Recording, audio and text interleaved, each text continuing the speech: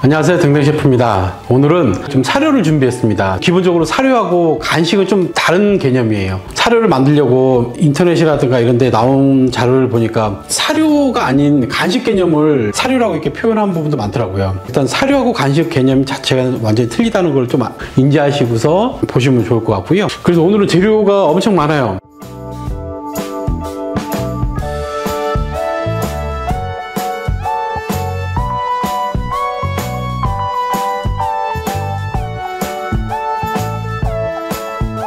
이 사료 하나를 먹고 아이들이 영양소가 충분히 흡수가 돼야 되잖아요. 그래서 사람도 마찬가지로 5대 영양소가 있, 있듯이 아이들한테도 그 영양소가 다 전달이 돼야 되는 거예요.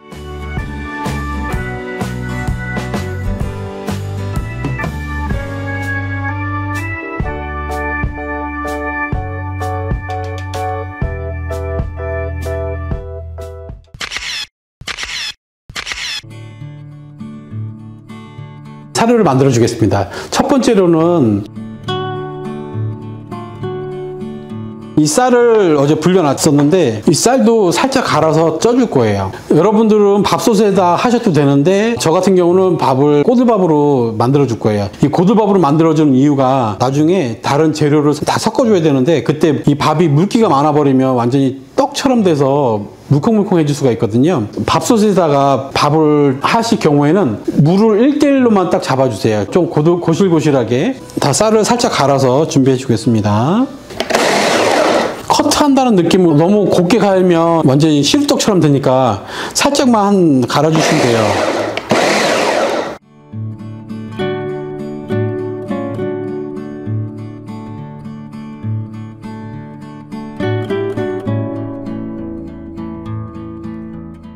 고구마나 단호박을 너무 많이 넣으시면 그거는 사료가 아니고 간식이 되겠죠. 이렇게 입자가 있게끔 이렇게 갈아주시면 됩니다. 따로따로 하는 것보다 일이 편하겠지 아무래도 일이 편해야지 또 자주 할 수 있으니까 일을 너무 어렵게 해버리면 이게 하기 싫어지거든요. 믹서기만 큰 거 있으시면 한 번에 다 갈으셔도 돼요. 일반 믹서기는 날이 맨 끝에 이렇게 하나밖에 없어요. 조그만 날이. 그래서 많은 양을 갈 때는 잘 안 갈려요. 이게 밑에만 갈리고 위에는 안 갈리는데 얘는 이렇게 날이 세 개가 있어요. 이 믹서기 모르시는 분들 많이 계시더라고요. 날이 세 개가 있으니까 상단도 엄청 잘 갈리겠죠. 그래서 이거 혹시 믹서기 새로 사실 분들은 요런 제품 한번 참조해 보셔도 좋을 것 같아요.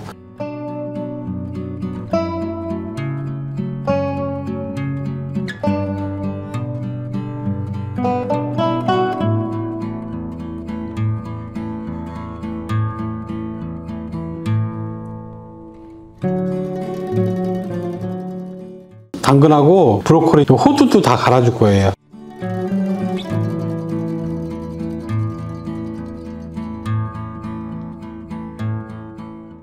꼬들밥 하듯이 쪄줄 거예요. 밑에 물도 다 부어야 돼요. 물 부어야지 안 타니까. 자, 다음으로 닭가슴살하고 연어를 구워줄 거예요.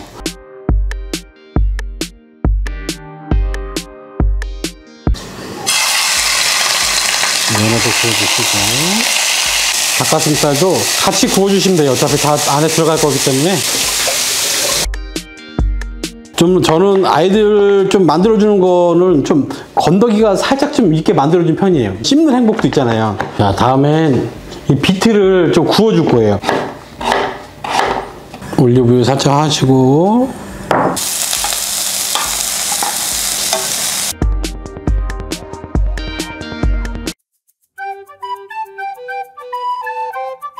야채를 전부 다 쪄줄 거예요. 물을 끓기 시작해서 야채들을 하나씩 익혀줄게요. 다 넣어서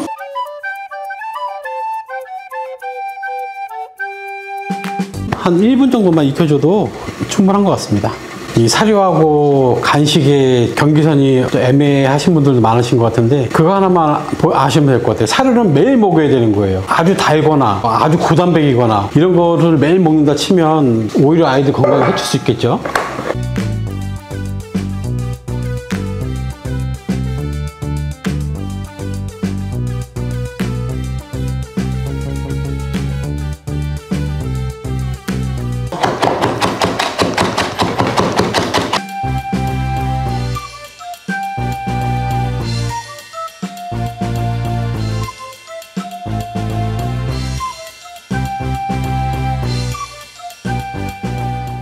재료가 전부 다 준비됐어요. 이제 다 섞어 주시기만 하면 됩니다.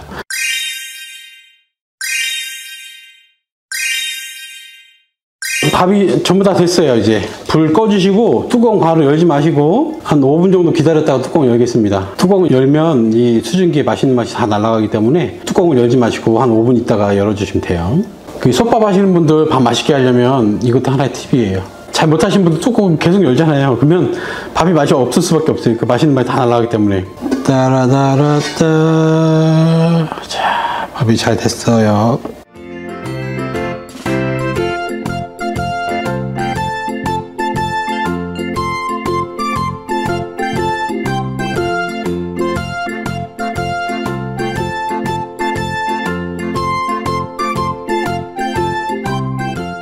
왜?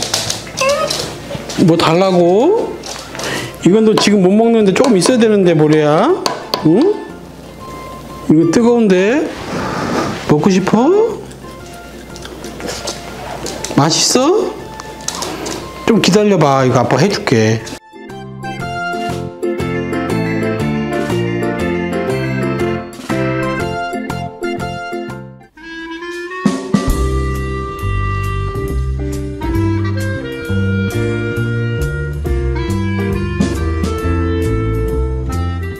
모래야 너무 배고파?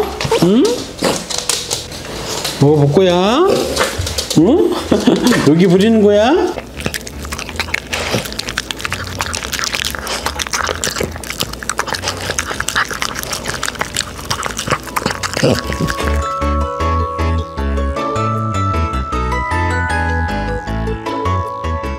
앉아. 그렇지. 보고 있어? 자, 밥 먹자, 언니. 모래 너는 먹었잖아.